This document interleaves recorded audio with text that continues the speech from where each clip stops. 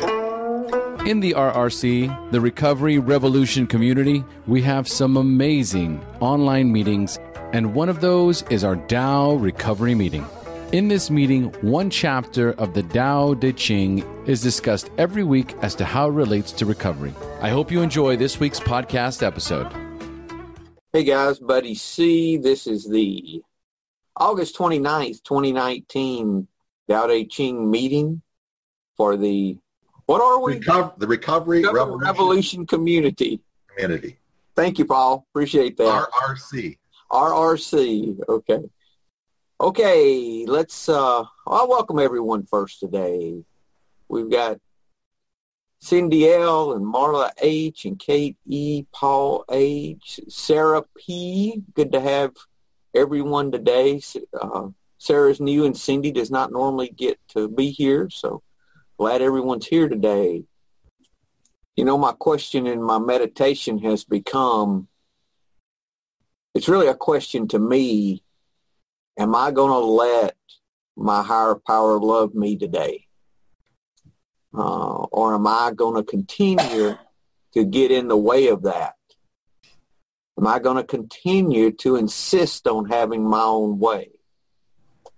Am I going to continue to just be my own worst enemy, really, you know?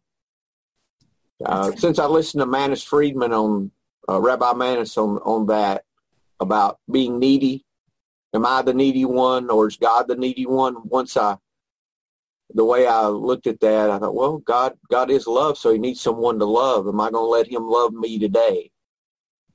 I just can't get off that. I mean, every time I go to meditate, that is exactly what I go to. Or during the day when I have a moment, you know, of, of quiet, it's hmm. You know, it's like it's truly is. I am my own worst enemy. I am the one that's in my way. This is not happening uh, because of my efforts. If it's not happening, it's because of my efforts. right. you know it's my efforts that are getting in the way, this effort of control and making it all work the way I think it needs to. That whole... You know, this chapter talks about not speaking when you don't know anything. It's the same with thoughts. I don't believe my thoughts because they're not true. I have opinions, I have judgments, and they're usually based on my own perspective. No one else's. So they're not necessarily the right perspective. And, I believe this chapter is about, this is a description of what uh, really walking in the Tao, walking in your virtue, walking, walking that, that way is like. And that's what this is to me is a real description of that, you know? Mm-hmm. So, so let's, uh, let's move forward.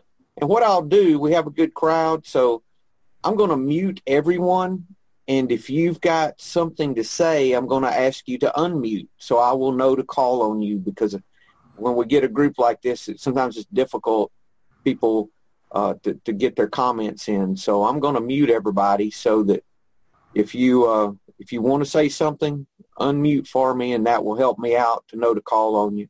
Other than Kate, I'm not going to mute Kate today because I'm going to get Kate to read for us. Do you have the link up, dear? I put it in the chat. Yeah, I got it. Okay, well, I'm going to share the screen, and we're on the 56th chapter, so we'll go ahead and do our readings, and then we'll discuss it. So you can you can start whenever you're ready, dear. All right, I will begin. Those who know do not talk. Those who talk do not know. Keep your mouth closed Guard your senses. Temper your sharpness. Simplify your problems. Mask your brightness. Be at one with the dust of the earth. This is primal union. He who has achieved this state is unconcerned with friends and enemies, with good and harm, with honor and disgrace. This, therefore, is the highest state of man. Second translation, those who know don't talk. Those who talk don't know. Close your mouth. Block off your senses. Blunt your sharpness, untie your knots, soften your glare, settle your dust. This is the primal identity. Be like the Tao. It can't be approached or withdrawn from, benefited or harmed, honored or brought into disgrace. It gives itself up continually. That is why it endures. Third translation. Those who know do not talk. Those who talk do not know. Stop talking. Meditate in silence. Blunt your sharpness. Release your worries. Harmonize your inner light and become one with the dust. Doing this is called the dark and mysterious identity. Those who have achieved the mysterious identity cannot be approached and they cannot be alienated. They cannot be benefited nor harmed. They cannot be made noble nor to suffer disgrace. This makes them the most noble of all under the heavens. Final translation. Those who know don't talk. Those who talk don't know. Shut your mouth. Be still. Relax. Let go of your worries. Stay out of the spotlight. Be at one with the world and get right with the Tao. If you get right with Tao, you won't be worried about praise or scorn, about winning or losing, about honor or disgrace. That's the way to be. That's the way to be. I've got the link in the chat. So if you guys want to pull that up separately, so to look at that, it's the way to be. Didn't say the way to act or the way to do but the way to be. That is just jam-packed full of stuff. Any comments before I start rattling? Okay. Um, you know, they say this is the most quoted verse, this out of the whole Tao Te Ching. Those who know do not talk, and those that talk do not know. I remember the first time that I ever knew something but did not have the urge to let everyone know that I knew it. That's a real that that's just happened I don't put a time on it last couple of 3 years when I really just said it's not important they know I that I know that. because it was always important before for me to direct every conversation in my direction that if I had something to add, it was very important they knew that I had some knowledge on that. So I, you know, my ego and self was so strong in that area. That is, uh, that's a real gift when you start relaxing with those things. And you don't have to draw every conversation to make it about you. You don't have to always be the best, look the best. It's, uh, uh, back to that, for me, it's back to that having, doing, being business. You know, how I think that we progress. Uh, we, we start out with this having, then we uh, progress to, to doing, and then ultimately we progress to just being, that we don't have to, you know, first we think it's in the things that we can get, having stuff then we kind of progress from there up, I think, to, to doing that we want to help, that we feel we can make a difference, and we can. There's nothing wrong with that. But we start moving from that to just being, just doing the next right thing. You know, just being that. Not having to have it even mean anything or go toward something huge or greater it's just the next right thing to do. And we, we move to this, this being, and I think we have different parts of our lives that, that happens in. And it happens at different times in different areas. But this idea of this is just the way to be. Just the way to be. Keep your mouth closed. Stop talking. I think it brings a lot of integrity and humility. it's talking about humility, having the humility to know you don't know anything also. And, You don't know what you don't know. But also having a lot of integrity and keeping, you know, without, you, you can just be without having to let yourself be known. You know, that's humility without having a reward for all of the things you think you've done that are great, you know, or things you think you say that are great. You know, that- that yeah. without reward, without needing a reward of recognition or whatever.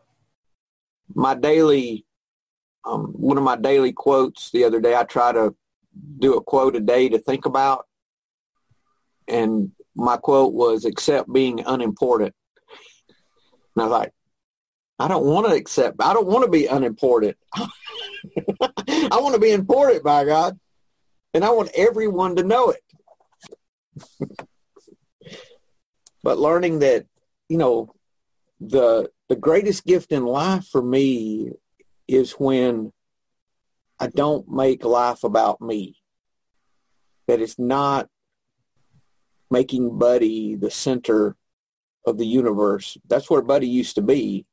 And Buddy had all this angst because he could not be the center of the universe. I fought continually to try to make it that way.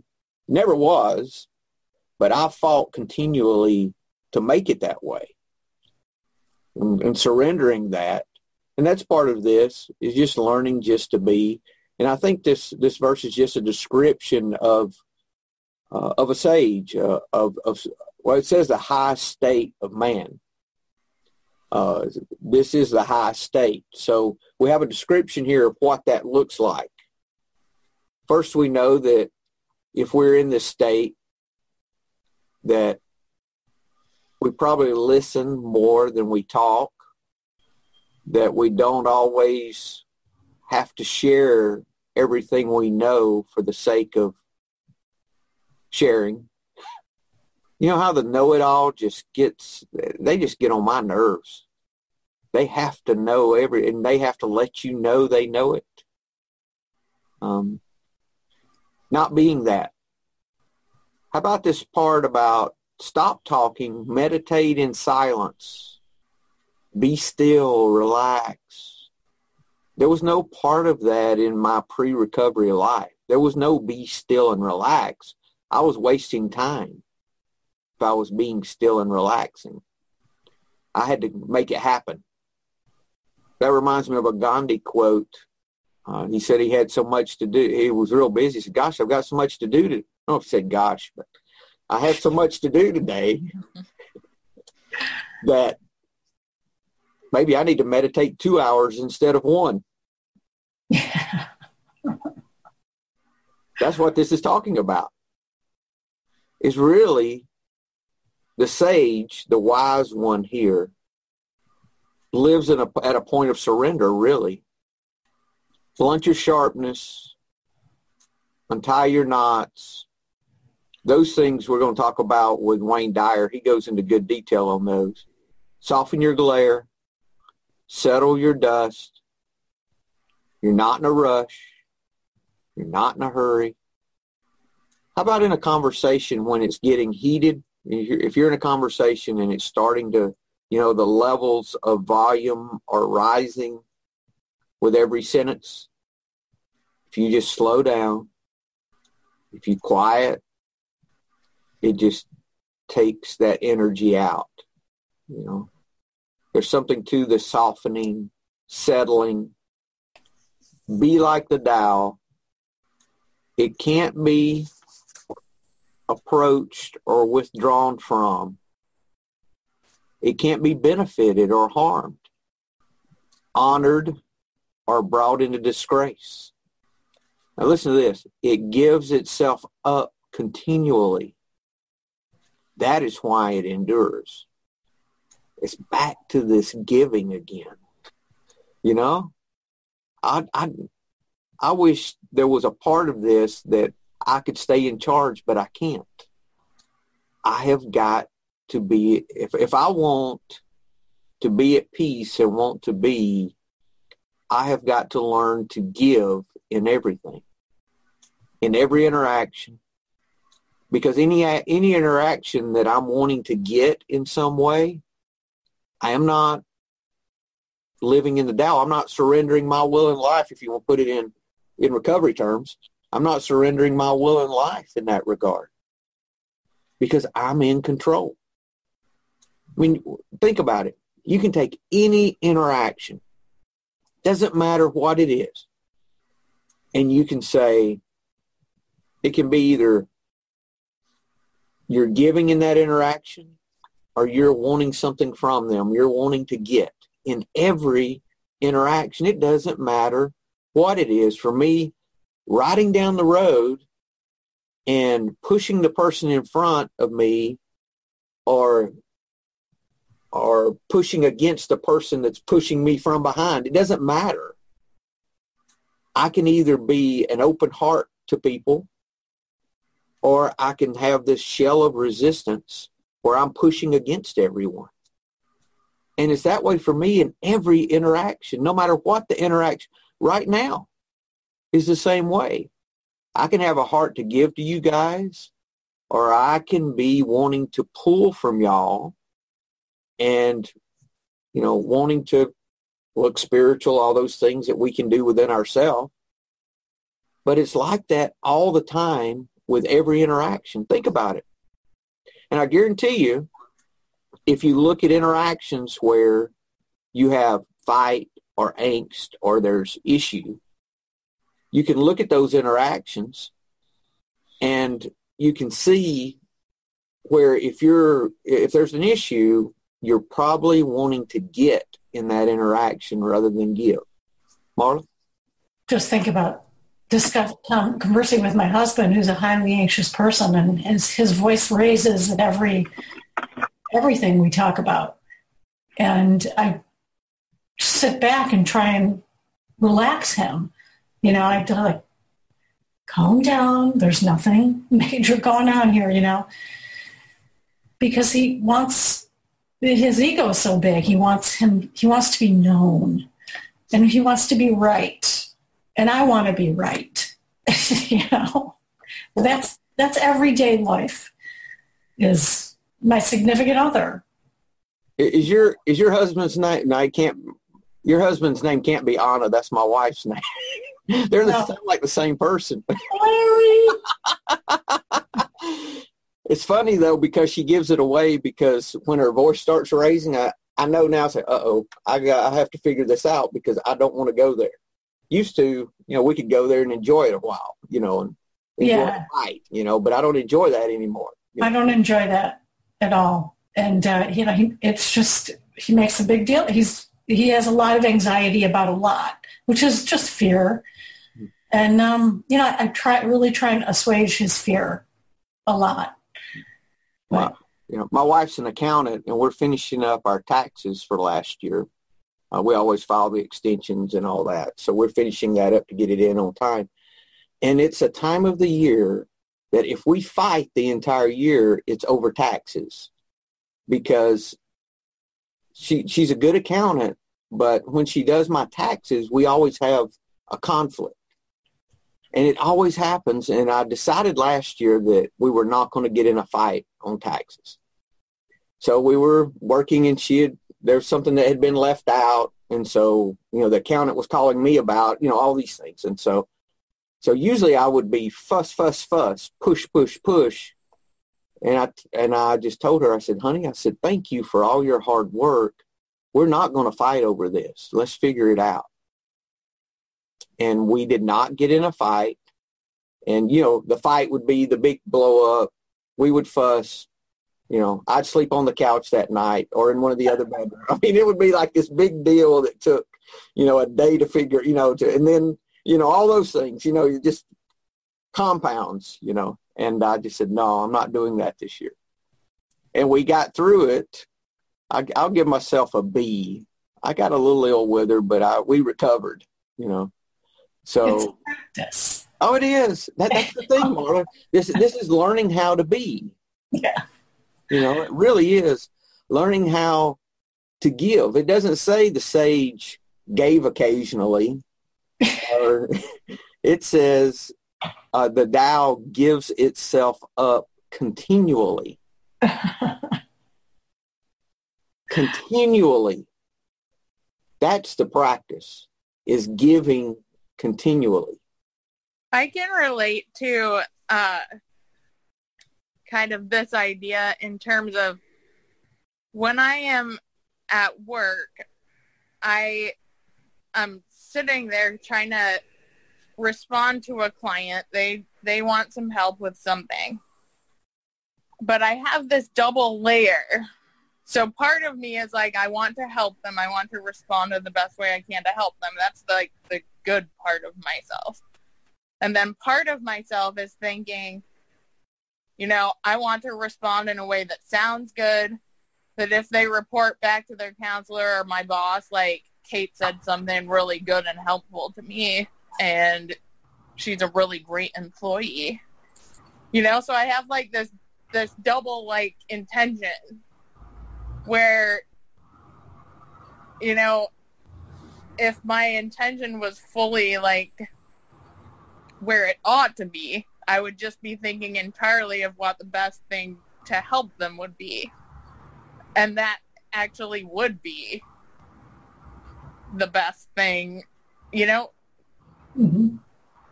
that would be for them. But I still have like this insecurity where I'm not being relaxed, where I'm not going down that path we were just talking about what with the sage and everything where I have these other intentions like, oh, I have to look good. I have to sound like I know what I'm talking about. Ego. It's, you're human. Right. right. You're human. It's an ego thing. Yeah. Kate, for me, what, what, what's happened in those situations is that I've had, I'll get situations come up where I've had to help someone that that would be against what would make me look good. So I'd have to choose, do I look good here or do I help this person? You're going to have those come up. I guarantee it now that we're talking about this. I'm sorry, it's going to be a tough week for you. I mean, you're going to have those. It's going to happen. Uh, we yeah. want to hear about it, but it always does. Paul, you got something, sir? Yeah, this discussion just reminds me of a little anecdote or joke my a kind of a Buddhist type joke a friend just recently sent me. And I had to print it out because I didn't want to screw it up. It's pretty short. Though. There was a very strict order of monks who lived by a rule that permitted speaking only once on one day a year, one monk per year. So when the day came around, the monk whose turn it was stood up and said, I don't like the mashed potatoes here. They're too lumpy. And he sat down. A year later, another monk stood up and said, I rather like the mashed potatoes here. They're very tasty. Another year went by, and it was the third monk's turn. He stood up and said, I'm leaving the monastery. I can't stand this constant bickering.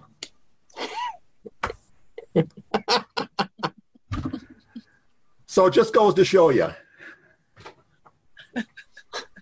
Even the monks have this problem. but you know, None of those comments were a giving comment, though. That was all a getting comment. True, true. You know, I mean, that's what I, that that just proves the point of what we're talking about. You know, it's never about getting our own way. When we learn to surrender our way, then we get what we really need. I'm, I've seen that over and over in my life. Cindy, you have something different? Yeah, I was just going to say I can identify with what Kate's saying. I mean, in my job, it's, you know, hospitals are all about surveys now. You know, did your nurse explain everything to you? Did your nurse control your pain? Did your nurse do this? Did your nurse do this? And when they train you now, it's all about the buzzwords. You know, are you using the buzzwords to make sure that the patient knows that you actually did what you said you were going to do? And sometimes you can get caught up in like, like, am I I don't know how to explain it, but it's like, am I following the policy or am I doing the right thing? Like, am I making sure I'm saying the right word or am I actually doing the right thing by the patient? Because sometimes I can do the right thing by the patient and not have used the right buzzword to go with it. And it's actually more important that they get the care than it is that I use the right buzzword. And it gets to where you're, it's like you're viewing your actions through somebody else's eyes all the time to see whether or not you're actually doing what you're supposed to be doing instead of just doing what you're supposed to be doing. Yeah. At least for me. Mm-hmm. And I think, Cindy, if you can take that letting go book again, Pathway to Surrender, David Hawkins really has helped me with this.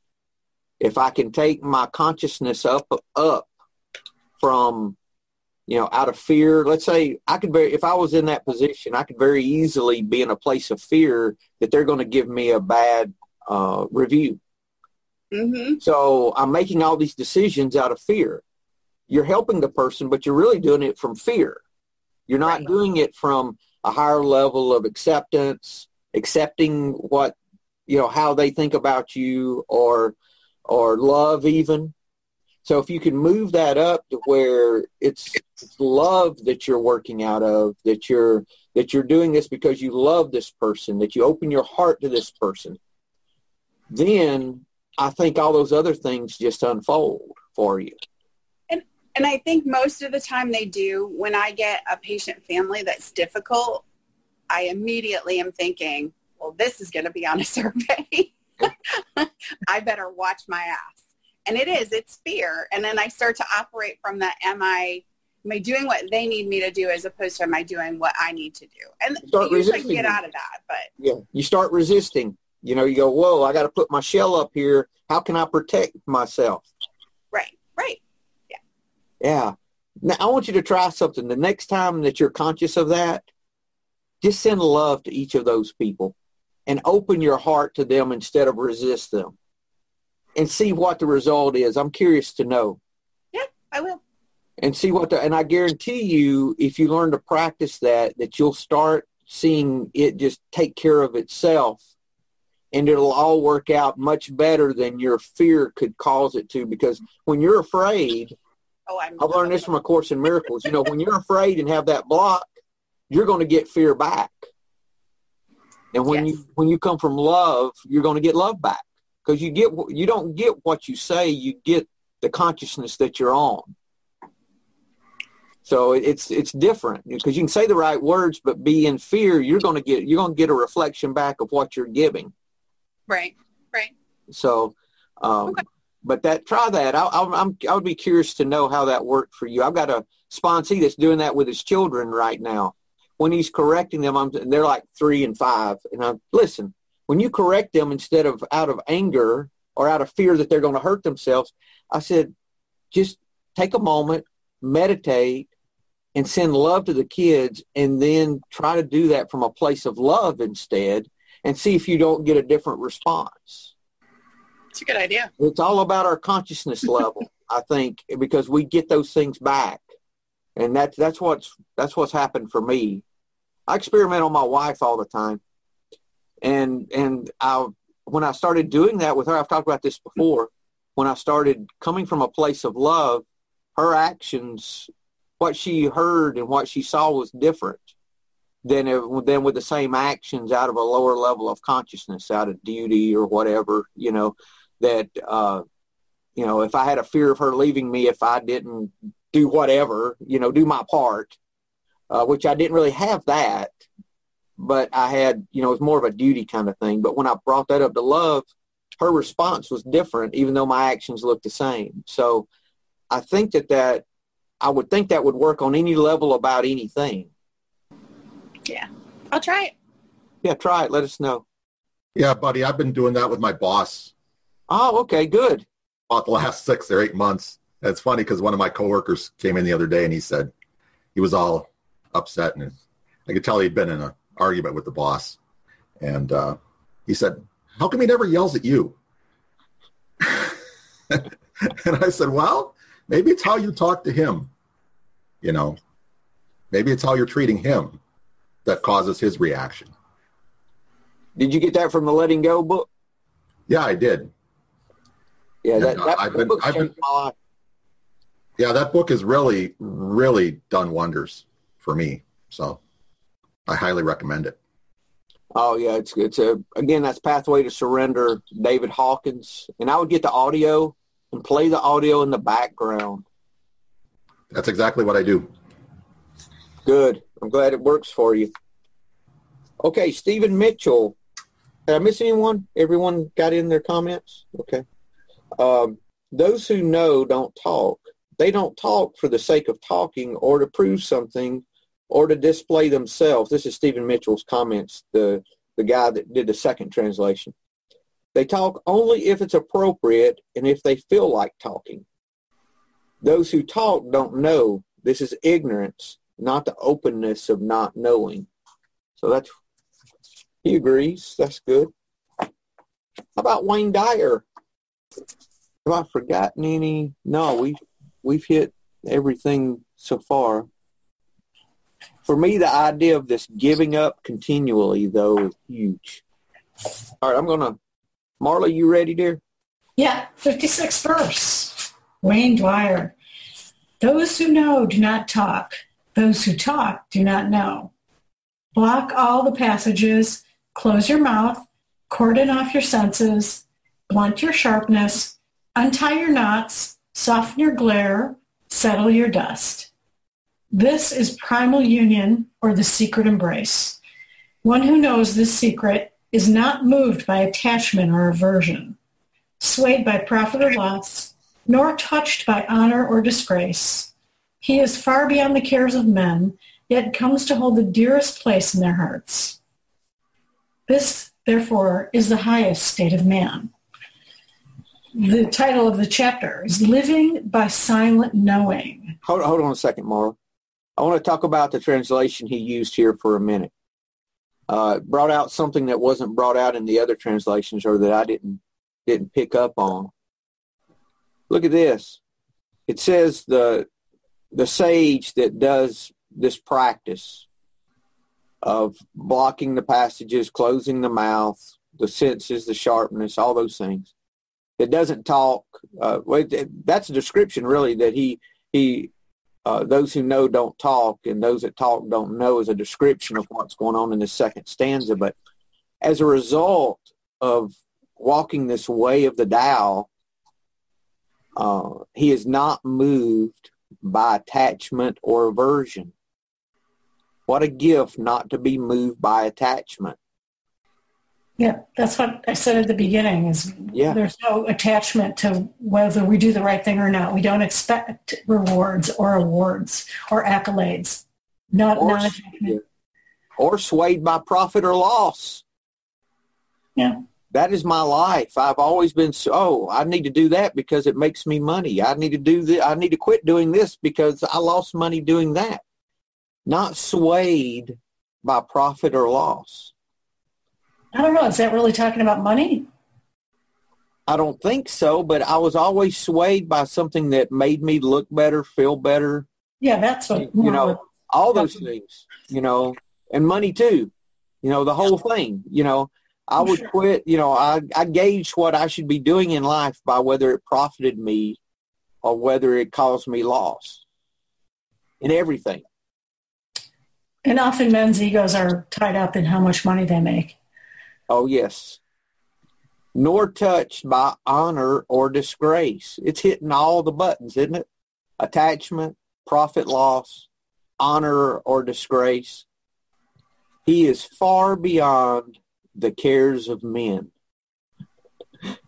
I am not even, I mean, I'm not even beyond, much less far beyond. far beyond the cares of men. Now, I was thinking about step three in that, turning our will and our life over to the care of God as we misunderstand Him. And this really is talking about that, I think, in this beyond the care. Because, you know, for me, step three is not only me turning over my will, but it's all the things I'm concerned about all the cares and concerns, my love for my family, my concern with making a living, my concern with honor and disgrace, my concern with attack, all those things I'm to turn over and to trust my higher power with. And he's beyond all of that. He's uh, the sage has done step three in its fullest. Okay, he's beyond that.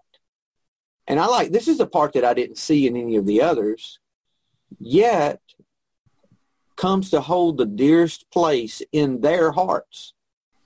So the sage is not moved by attachment or profit or loss or honor and disgrace. He's beyond what men think about him, but yet he holds the dearest place in their hearts. I think that's, Kate, what you were talking about is part of that. In that when we surrender our need, the things that we think are important, and mm-hmm. we're giving, then I think what happens is that vulnerability that we have in that, because that's a vulnerable place to be. When you're doing for someone and they have the power to advance or hurt you in some way, but you're vulnerable. When when you're there, I think being in that place is what causes the real magic to happen. Is that place of powerlessness really? Does that make sense? Yeah. But that's interesting. It says they hold yet. It looks like it would be the opposite. You know, that if you're not concerned, that you're not attached, you're not, you know, you're, you know, you're not trying to please them in any way. You're far beyond even being concerned with what they think. But yet, you hold the dearest place in their hearts. Not that they hold the dearest place in your heart.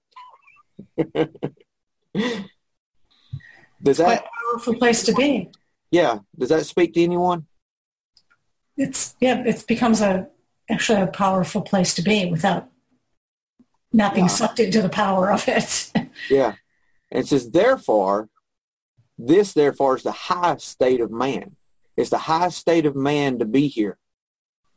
So how do we get there? Well, first thing is we learn to start giving instead of getting. We start learning to respond with respond to energy with uh, with in, to injury with kindness. Those things that we're learning, and then he talks a lot about this. So you want to read on, Marla? Uh, that's all I have there. Anyone got any comments? Okay, we'll keep going. All right, so this is probably the best known verse of the Tao Te Ching. In fact, the opening two lines, those who know do not talk and those who talk do not know, are so popular that they've almost become a cliche. Nevertheless, the passage's essential message is little understood and rarely practiced. Lao Tzu is calling you to live in the highest state of silent knowing, that place deep within you that, you, that can't be communicated to any other. Consequently, you might want to change your thinking about who you, whom you consider to be wise or learned.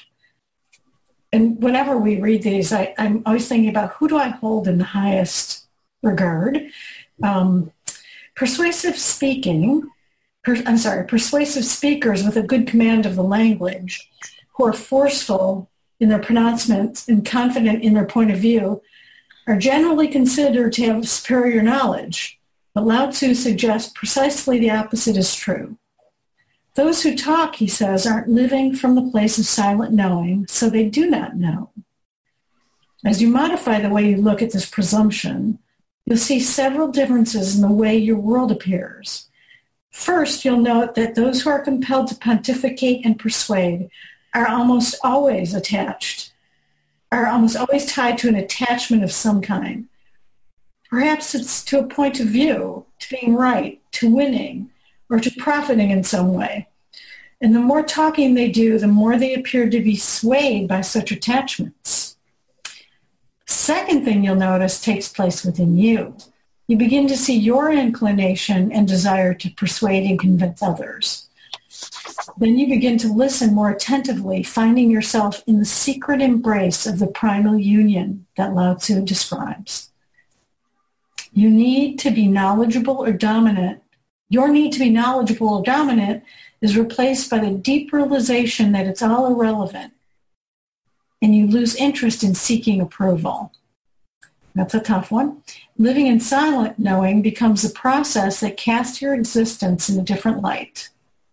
You have less of an edge and feel s- settled, softer, and more centered. Hold on right there, Marla. See, this I think is that process of change that starts happening when we start giving instead of looking to get. Your need to be knowledgeable or dominant is placed by a deep realization that it's all irrelevant and you lose interest in seeking approval. Wow. That care, that care of men, right? Far beyond. Living in silent knowing becomes the process that casts your existence in a different light. You have less of an edge and feel settled, softer, and more centered. And that and that previous paragraph you highlighted, buddy, I just that uh, note that those who are compelled to pontificate and persuade are almost always tied to an attachment of some kind. Boy, I can't help but think of politicians when I read that. Yeah, me too. Me, me too. I think about you know our politicians who are ruining, who, who believe that they're right, but I mean, they always have to. You always have to. You always read about their approval ratings, and they're Yeah. always you know seeking approval. And um, well, I just it just made me think of that. that's a politician's life, unfortunately. Um, Anyone else? Yeah, I it made me think of my grandmother. Like gr- my grandmother versus my parents, which is something I've thought about a lot in the last year is like she was unconditional love. And by all accounts like I mean she lost her husband with God, seven kids. She was a widow. He was abusive. She had every right to be a very angry, bitter woman, and that was not who she became. And my parents were kind of the opposite of that. Like, I mean, they had the same reasons, sort of in different ways, but they held on to that bitterness. And it was like when you encountered her, it was just love. And she would give everybody everything, whether she had it to give or not. And my parents sort of held on to everything very tightly. And that was sort of how I became was you had to hold on to it because you might need it, right? So you can't give it away. And they're that way in their relationships. Like if you're if you're friends with them, you can't really be friends with other people, right? Because now there's a reason to be jealous and you can't like they can't have a relationship with someone where they have a relationship with someone else. And like I've learned as I've extricated myself from them and set some boundaries, like it's so freeing to be like, well, of course you can have friendships with other people. Like I don't own you and you don't own me. And I get different things from different relationships and it's not about what I get. And it's just like it's take I mean, she died when I was 12 and it's taken me 35 years to see like just the wisdom that was within her that I didn't realize at the time. I just knew it was love. That's what she gave. Period. It's a good example. Thank you, Cindy. Sorry, I That can't is- remember when I talk about her. you know, it started me thinking about, um, you know, my, my grandparents who were part of the Holocaust generation and their bitterness and depression. And they lived through the depression as well. But, you know, they had all of these things to be really bitter about and they held on to it, you know? And it, and it, then it goes down to the next generation. Um, fortunately, my parents raised each other and they, they're happy people, but um, you know, I, I didn't, my grandparents, neither side were unconditional love. They had a, an edge of sadness and bitterness about them and kind of rightly so, but I understand now the people, there's people who overcame like Viktor Frankl, who lived in, who lived in concentration camps, um, you know, how he overcame it by just changing his whole perception of having hope. Yeah. Yeah. I mean, and that every time I read a story, like I, I didn't see it in her. I saw it in like things that I read. And I was like, okay, like my, uh, you know, you read these horror stories of things people have lived through and then they're really positive. And I was like, well, who am I to not like let it go? to use Buddy's expression all the time. Who am I not to let it go, right? And then I really thought about I have those examples in my life. And when I look at my aunts and uncles and my parents, it's so interesting to me as an observer to see how it's like a 50-50 split. Like half of the kids are super positive and they just exude love and about half of them are not. And and it's, you know, it, it's just interesting and you know, there's a lot of addiction and alcoholism in the family and all that stuff too, but it's a it's a choice. And I don't think anybody ever tells you it's a choice. Like you have a you have a choice. You can make a choice to hold on to the to the anger and the bitterness and the hurt and the everything and have that be who you are, or you can let it go.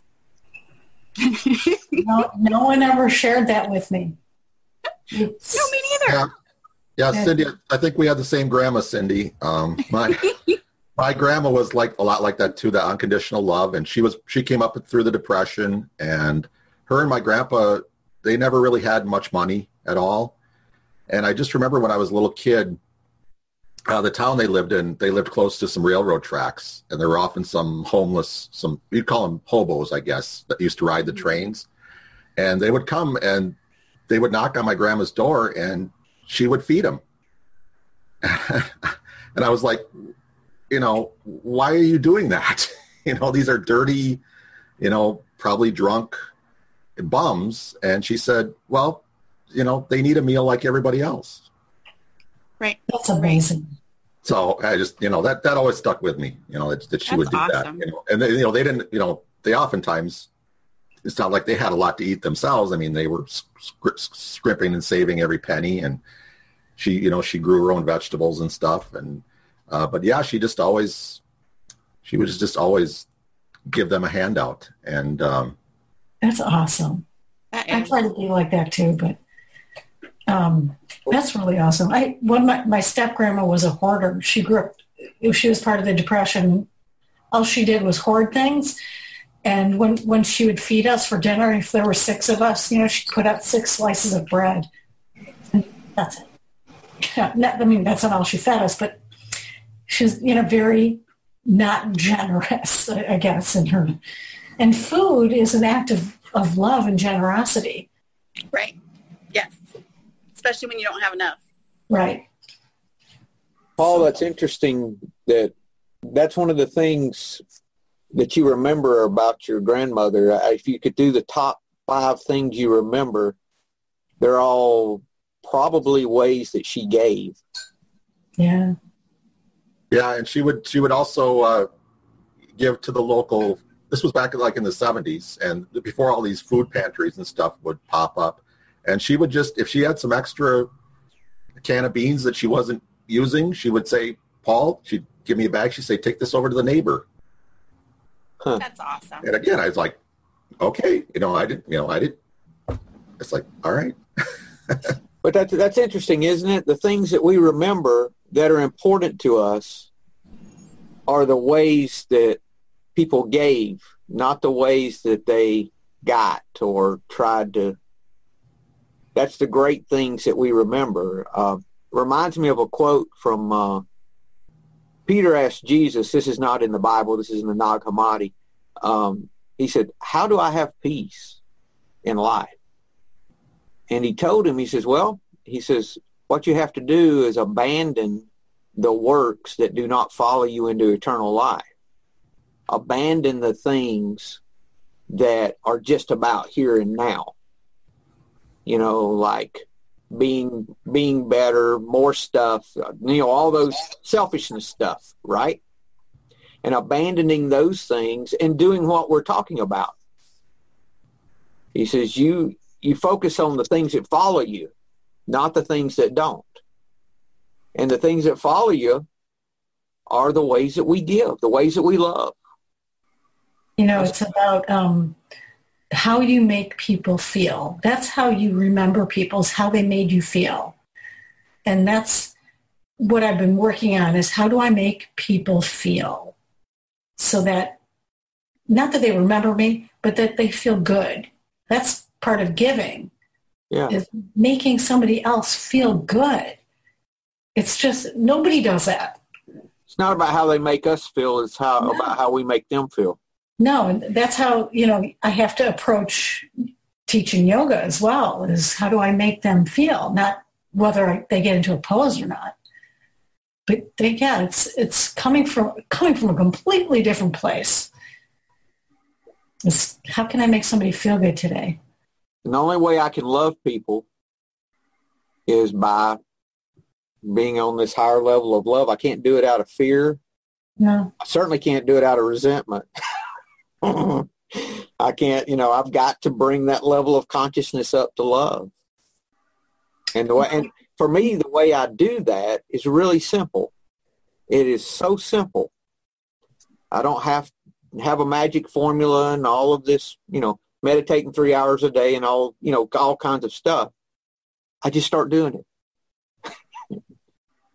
I just start doing it. What does the Lord's Prayer say that at a lot of meetings that they close the meeting with or that we learn, you know, if we, from the Christian side, if we learn this, it says, uh, forgive us our trespasses as we forgive those who trespass against us, right?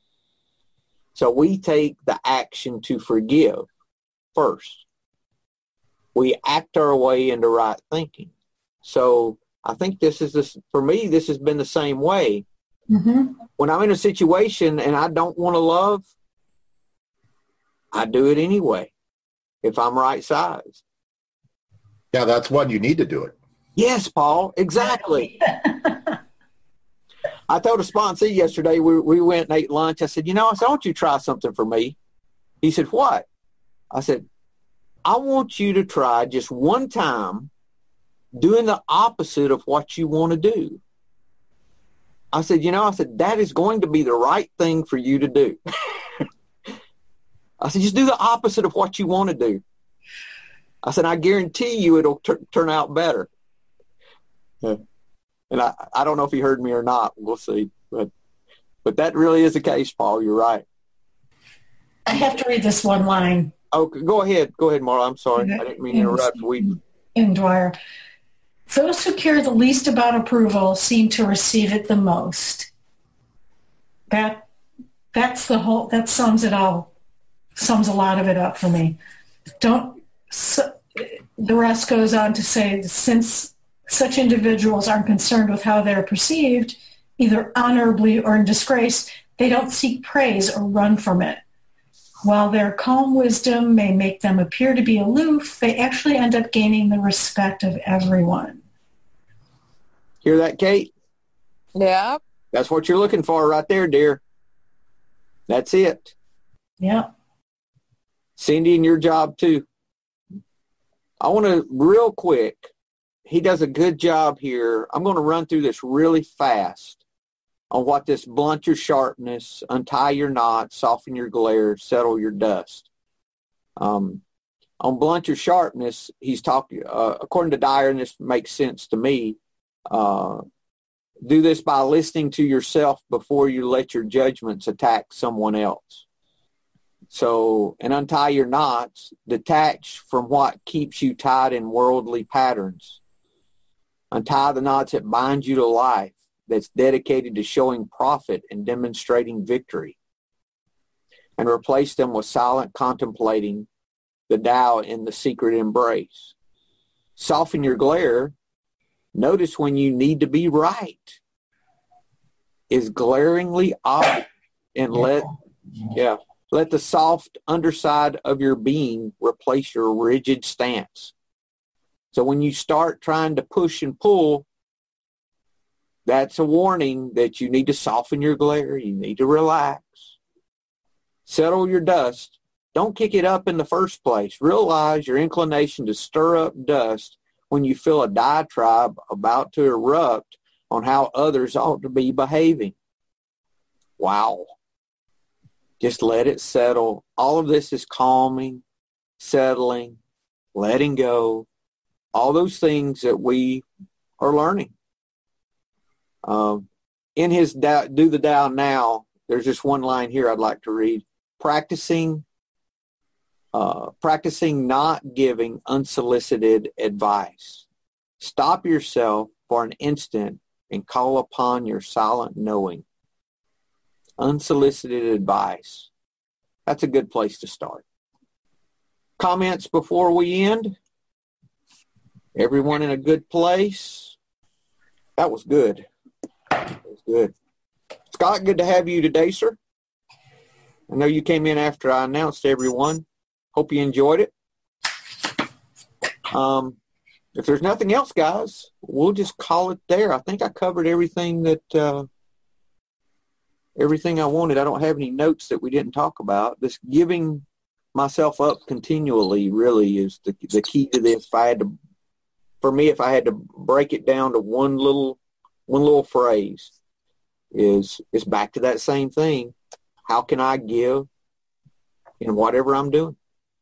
See if that doesn't work for you. I'd like to hear Kate and Cindy if uh, if you start seeing a change in what you're doing when you when you're coming from a place of love in that. I, I would be curious to know. So, everyone I'm good? Working, I'm working tomorrow. I'll try it. Cool, cool. Well, you know what the problem is when you get a situation like this, or when you get a teaching like this, I'm going to have this all weekend is what you're telling me. you go to school now. Okay, now, well, really, you've been in school. Now it's time for the test. yeah. Okay. Okay, well, I'm that's- working Friday and Sunday, so I'll get lots of practice. so let us know, dear. I will. All right, y'all have a great week. You too. All right, bye. Bye.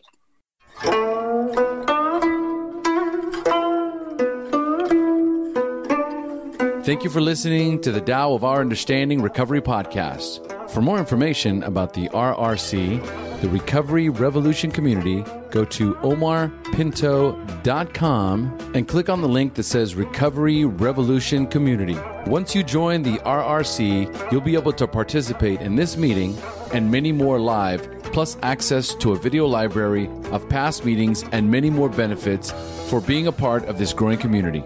Thanks again for listening. And if you enjoyed this episode, please share this podcast with your friends in recovery.